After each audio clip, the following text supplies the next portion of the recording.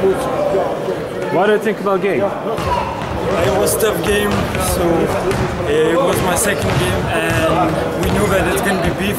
So in the first half, we, scored like 40 points, but we got nine, nine points lead. Then some something happened, we let stack. We eventually we hustled and won, so it's very nice. All right, thank you very much. Yeah, no problem.